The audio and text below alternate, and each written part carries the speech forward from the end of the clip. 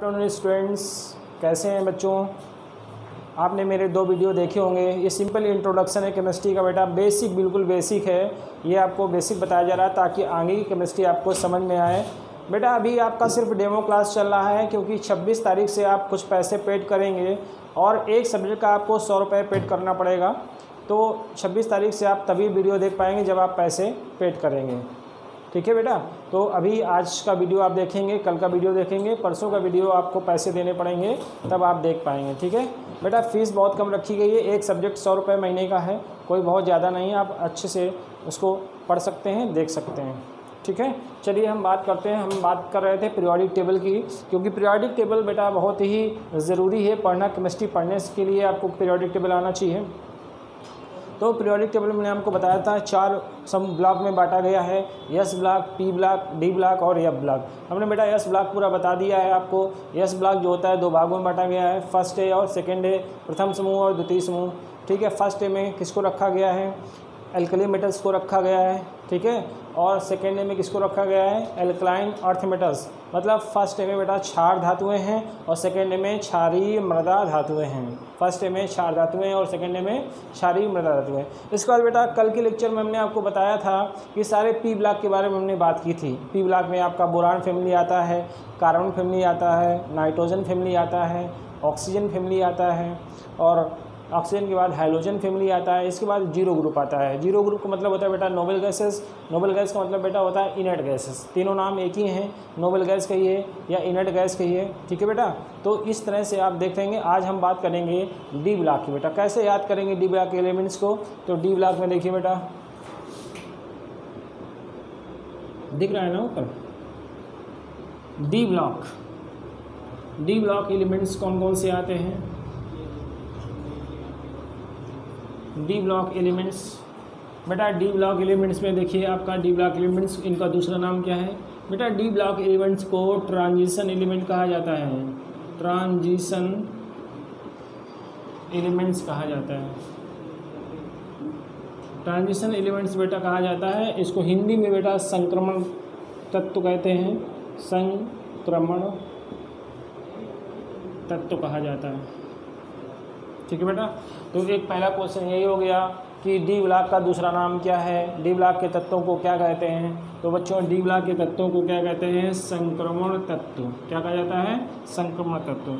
अब बेटा इसमें देखिए, तीन सीरीज़ आती हैं। इसमें एक आता है थ्री डी सीरीज़ एक आता है फोर डी सीरीज़ एक आता है फाइव डी सीरीज़ तो three D four D five D बेटा, जिसमें से आपके कोर्स में क्या है? सिर्फ़ आपके कोर्स में थ्री डी पढ़ना है आपको फोर डी नहीं पढ़ना है। फाइव डी नहीं पढ़ना है ठीक है? तो इसमें बेटा क्या क्या आता है? इसमें बेटा इसमें बेटा आता है आपका star T V car money फे को नी कु बेटा इतने तत्व आते हैं डी ब्लॉक में थ्री डी श्रेणी के सदस्य हैं। ये आपका स्कैंडियम है। ये आपका क्या है बेटा? Scandium first is scandium. Scandium है। सेकेंड बेटा क्या है? टाइटेनियम है। टाइटेनियम ये आपका वैनेडियम है। वैनेडियम वैनेडियम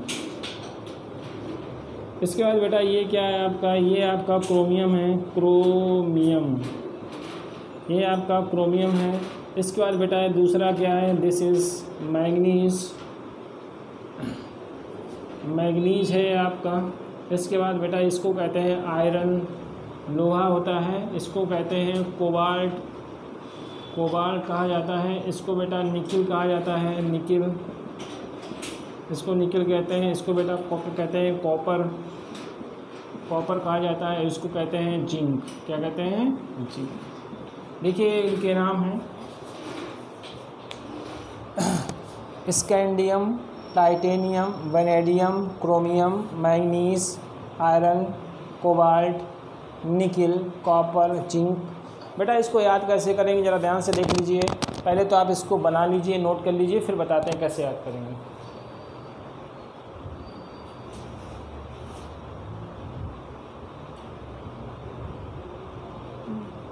उनको उनको करने दो।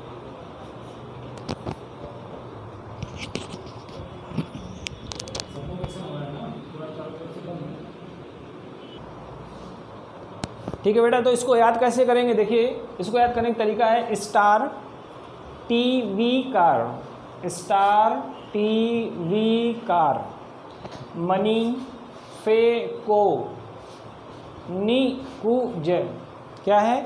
Star star T V car money फे को, नी कु ज इस तरह से इसको याद करेंगे स्टार टीवी, कार, मनी, फेको निकुच तो बेटा आप चाहो तो याद इसको लिख भी सकते हो। Star T V car, money फे को नी कुछ तो इस तरह से बेटा आपने क्या देखा? D block. आप देख सकते हैं यहाँ पर डी ब्लॉक। तो बेटा आपके कोर्स में इतना ही ये डी ब्लॉक में है, या ब्लॉक भी आपके कोर्स में नहीं है तो आपको इतना नॉलेज होना चाहिए। एस ब्लॉक के बारे में आपको नॉलेज होना चाहिए बेटा। पी ब्लॉक के बारे में नॉलेज होना चाहिए। डी ब्लॉक के बारे में नॉलेज होना चाहिए, ठीक है? तो इस तरह से देखा हमने आपको जनरल आपको पीरियोडिक टेबल का नॉलेज कर दिया, दे दिया है। इस तरह से आप प्रैक्टिस कर सकते हैं। इसके बाद देखिए कुछ अभी और चीज़ें हैं जो शुरुआती दौर पे आपको पता होना चाहिए। वो क्या है? देखिए बेटा, जैसे हमने कहा भाई आपके पास हाइड्रोजन था, lithium, sodium, potassium, rubidium caesium बेटा, इन सभी के ऊपर कितना चार्ज होता है? प्लस का वन होता है। कितना होता है? प्लस का वन। और इसके बाद यहाँ पर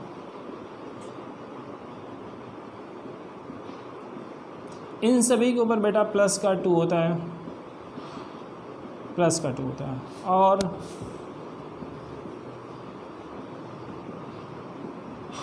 इन सभी के ऊपर प्लस का थ्री होता है।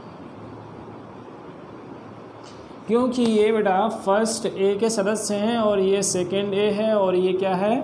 थर्ड ए नोट करेंगे इसको नोट कर लीजिए। बहुत ज़रूरत है इसकी। यहाँ पर बहुत बच्चों को बेटा ये नहीं पता होता किसके ऊपर कितना आवेश होता है। जैसे सोडियम के ऊपर कितना आवेश होता है। तो प्लस का एक होता है, मैग्नीशियम के ऊपर प्लस का दो होता है एलमिनियम के ऊपर कितना होता है बेटा? प्लस का तीन होता है। आप देख सकते हैं यहाँ पर, जो जिस समूह का है, जो जिस समूह का है, वही उसके ऊपर वही आवेश है। तो सोडियम के ऊपर प्लस का वन होता है क्योंकि ये फ़र्स्ट ए का है, मैग्नीशियम का प्लस टू होता है क्योंकि ये सेकंड का है, प्लस थ्री होता है क्योंकि ये थर्ड का है। आप देख रहे हैं यहाँ पर। चलिए देखिए, इसका हम उपयोग कैसे करेंगे? चलते हैं, देखते हैं इसका उपयोग कैसे करते हैं। अभी आप देख लीजिए। अब कुछ चीज़ें बेटा और बताने जा रहे हैं आपको। जैसे बेटा, देखिए, ये आपका एक होता है एसओ फोर माइनस का दो। इसको बेटा बोलते हैं सल्फेट क्या बोलते हैं? सल्फेट इसको बोला जाता है सल्फेट और ये देखिए एसओ थ्री माइनस का दो। माइनस का दो। इसको बोलते हैं सल्फाइट क्या बोलते हैं? सल्फाइट और बेटा इसको बोलते हैं, माइनस का दो हो गया, सल्फाइड। सल्फाइड। इसको सल्फाइड बोला जाता है बेटा। सी ओ थ्री माइनस का दो, इसको बोलते हैं कार्बोनेट। क्या बोलते हैं? कार्बोनेट बोला जाता है बेटा। ठीक है, इसको एन ओ थ्री माइनस बेटा, इसको नाइट्रेट बोलते हैं। इसको बोलते हैं नाइट्रेट। इसको क्या बोला जाता है बेटा? इसको बोला जाता है नाइट्रेट। इसको बोला जाता है बेटा nitrate N O two minus nitrite. Nitrite, इसको क्या बोला जाता है? नाइट्राइट। बेटा sulphate, sulphite, sulphide, carbonate, nitrate, nitrite. जल्दी से नोट करिए इसको। आप घर में लिख लिख के प्रैक्टिस करिए। ये आपका क्या है? देखिए एस को बोलते हैं सल्फेट ध्यान रखना, इसके ऊपर आवेश कितना होता है? माइनस का दो होता है। सल्फाइड सल्फाइड सल्फाइड में केवल सल्फ़र है, ऑक्सीजन नहीं है। देखिए, कैसे याद रखेंगे? कन्फ्यूज़न होता है बेटा, कौन सा सल्फाइड, कौन सा सल्फाइट? तो बेटा सल्फाइट टा, टमाटर की तरह देखो, इसमें ऑक्सीजन है। जिसमें ऑक्सीजन होगा, उसमें टा लगेगा। जिसमें ऑक्सीजन नहीं होगा, उसमें डा लगेगा। सल्फाइड। सल्फाइट तो ये बेटा ऑक्सीजन है, टमाटर की तरह है तो टा आएगा, ठीक है, इसमें टा नहीं आएगा, इस तरह से ध्यान रखेंगे, कैसे याद रखेंगे। इसके बाद बेटा कार्बोनेट क्या होता है सी ओ थ्री लिखते हैं, उसके ऊपर माइनस का दो आवेश लगाते हैं नाइट्रेट में केवल माइनस का एक होता है नाइट्राइट में माइनस का एक होता है, और बेटा देखिए, ये आपका पी ओ फोर है माइनस का तीन होता है, इसको बोलते हैं फास्फेट फास्फेट ठीक है बेटा? तो देखिए, अब इनका हम उपयोग करने जा रहे हैं। इनका यूज़ कैसे करेंगे? क्योंकि ये बेसिक नॉलेज अगर आपको नहीं है तो हम कुछ नहीं कर सकते हैं। तो इसलिए जानना ज़रूरी है। इसका उपयोग देखिए करने जा रहे हैं। आपको लिखना है।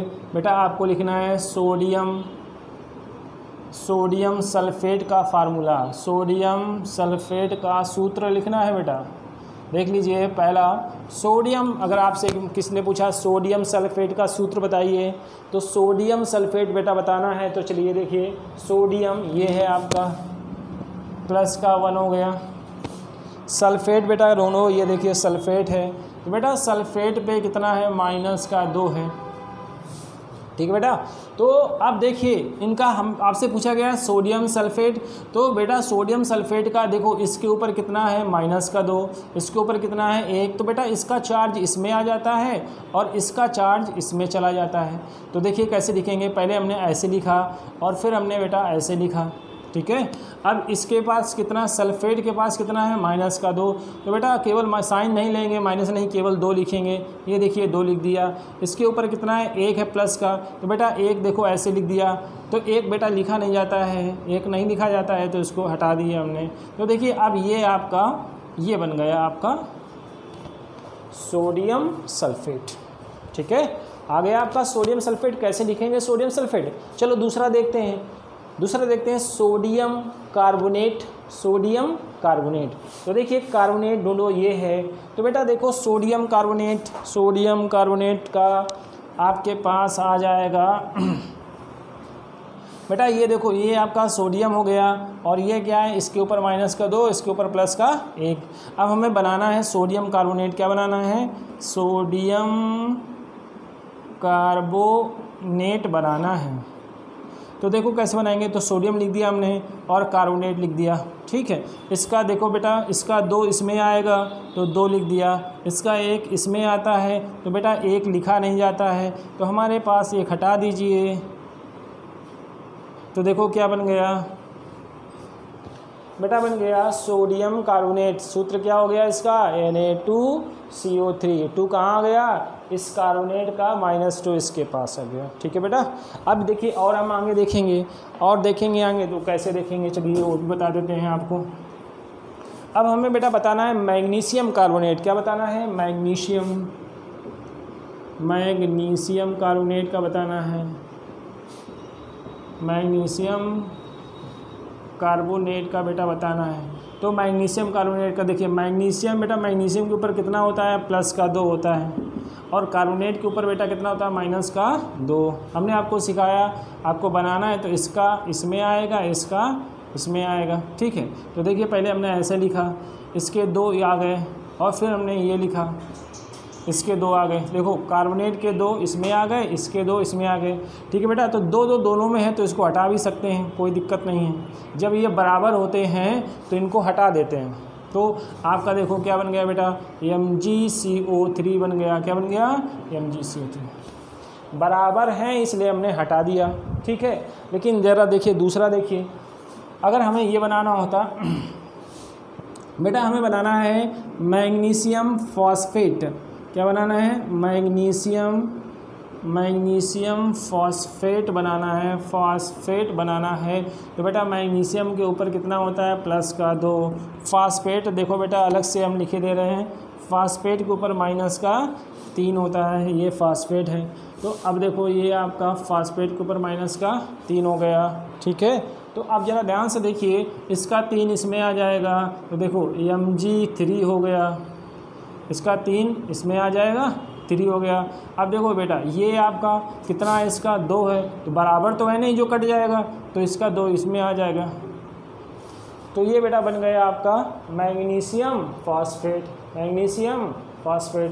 तो आप देख सकते हैं, मैग्नीशियम फॉस्फेट का सूत्र है एम जी थ्री और पी ओ फोर का होल ट्वाइस देखिए कितने आसानी से बन जा रहे हैं। मैग्नीशियम फॉस्फेट चलिए, दूसरा बनाते हैं, और बनाते हैं कुछ। अब हम बनाना चाहते हैं, बेटा, अब हम बनाना चाहते हैं कैल्शियम। हम बनाना चाहते हैं कैल्शियम नाइट्रेट बनाना चाहते हैं। कैल्शियम नाइट्रेट बनाना चाहते हैं। तो बेटा, कैल्शियम का तो प्लस का दो होता है। नाइट्रेट में एन ओ थ्री है, ठीक है? कितना होता है? माइनस का माइनस का एक लिखा नहीं जाता है बट ऐसे माइनस का, ठीक है? अब इसको बनाना है तो चलो देखते हैं। तो ये आपका इधर इसमें आ जाएगा और इसका दो कहाँ चला जाएगा? उसमें। तो देखो बेटा, एक लिखा नहीं जाता है इसका एक, ये माइनस का एक है, इधर आ गया। एक लिखा नहीं जाता है इसका दो है तो दो इधर आ गया। तो ये बेटा बन गया कैल्शियम नाइट्रेट। तो इन चीज़ों के लिए बेटा ज़रूरी क्या है? इन चीज़ों के लिए ज़रूरी ये है कि आप इनको पहले याद कर लें अच्छे से कि कार्बोनेट क्या होता है, नाइट्रेट क्या होता है, नाइट्राइट क्या होता है। इनको पहले आप याद करें। सल्फाइड इसका कैसे बनेगा? देखिए, आपको बनाना है सोडियम सल्फाइड। तो ये देखो एन के ऊपर प्लस का वन होता है। सल्फाइड के ऊपर माइनस का टू। जब बनाओगे तो इसका दो इसमें आ गया और बस हो गया। इसका एक है तो एक लिखा नहीं जाता है। तो ये हो गया सोडियम और यस लिखा हुआ है तो सल्फाइड। तो बेटा, इस तरह से हम यहाँ पर सूत्र लिख सकते हैं। जब तक हमें सूत्र का ज्ञान नहीं होगा, तब तक आगे केमिस्ट्री नहीं समझ में आएगी, क्योंकि हम पढ़ेंगे सोडियम कार्बोनेट हमें पता ही नहीं है क्या होता है सोडियम कार्बोनेट मैग्नीशियम कार्बोनेट क्या होता है सोडियम सल्फेट क्या होता है, पता ही नहीं। ठीक है बेटा? तो जब तक इनकी जानकारी नहीं होगी, तब तक आगे केमिस्ट्री में समझ में नहीं आएगी।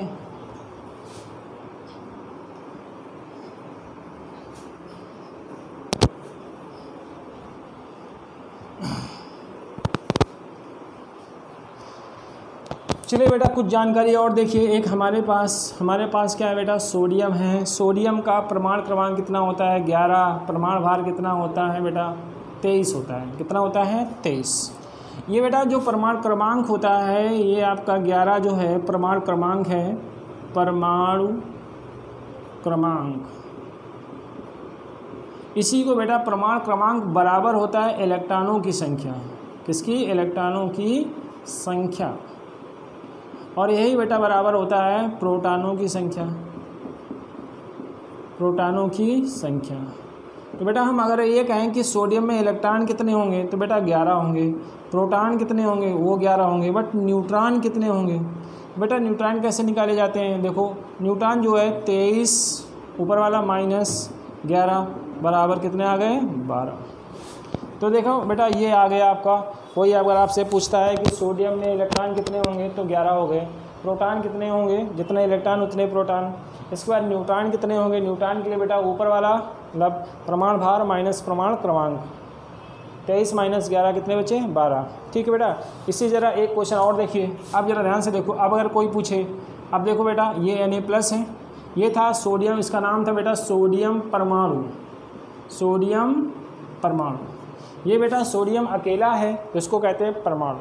अब इसमें क्या आ गया? धनावेश आ गया है प्लस चार्ज धनावेश आ गया है तो इसको कहेंगे सोडियम आयन।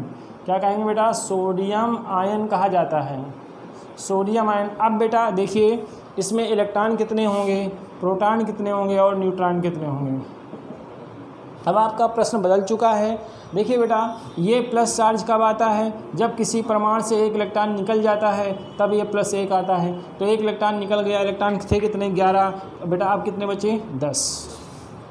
तो सोडियम आयन में इलेक्ट्रॉन की संख्या कितनी हो गई? दस। सोडियम परमाणु में कितनी हो गई? सोडियम परमाणु में कितनी हो गई? ग्यारह। बेटा प्रोटॉन तो निकले नहीं तो प्रोटॉन तो उतने ही रहेंगे। न्यूट्रॉन भी नहीं निकले तो बेटा न्यूट्रॉन उतने ही रहेंगे। तो देखिए, दोनों में बेटा क्या अंतर है? दोनों में क्या अंतर है? आप इस तरह से देख सकते हैं। ठीक है बेटा? तो इस तरह से हम आप यहाँ पर देख सकते हैं, सोडियम, यहाँ पर देखा, सोडियम परमाणु और सोडियम आयन में अंतर। ठीक है बेटा? इस तरह से ज़रा देखिए, एक और प्रश्न देखेंगे हम यहाँ पर इस टाइप का। ये देखिए, एक क्लोरीन इसका सत्रह होता है बेटा, सत्रह। तो इलेक्ट्रॉन क्लोरीन में कितने होंगे? सत्रह। प्रोटॉन कितने होंगे? सत्रह। न्यूट्रॉन पैंतीस दशमलव पाँच तो न्यूट्रॉन निकालना है तो पैंतीस दशमलव पाँच माइनस सत्रह। तो इस तरह से निकाल सकते हैं। तो देखिए बेटा, कितना आ जाएगा आपके पास?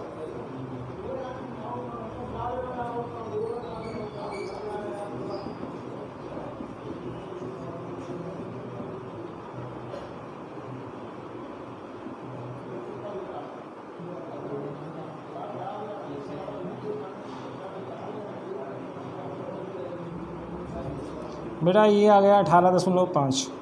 इतना ही इलेक्ट्रॉन न्यूट्रॉन्स आ गए। अगर हम पैंतीस दशमलव पाँच को हटा कर करें अगर आप इसको हटा कर कर रहे हैं तब कितने बचाएँगे अठारह बचेंगे, ठीक है? तो ये आपके क्या हो गए? न्यूट्रॉन्स हो गए, ठीक? न्यूट्रॉन्स बेटा बदलते नहीं न्यूट्रॉन्स कोई आपका जैसे सी है, अब दूसरा देखिए सी एल माइनस ये क्लोरीन प्रमाण है, ये क्लोरीन आयन है। अब इसमें पूछा जाए तो बेटा इलेक्ट्रॉन देखिए, अब माइनस है, इसके ऊपर माइनस आया है तो माइनस कब आएगा? जब एक इलेक्ट्रॉन लेगा, जब एक इलेक्ट्रॉन लेगा तो सत्रह थे, सत्रह से कितने हो गए? सत्रह और एक कितने हो गए? अठारह इलेक्ट्रॉन हो गए बेटा। इसमें सत्रह थे, इसमें अठारह हो गए, क्योंकि एक इलेक्ट्रॉन लिया है इसने।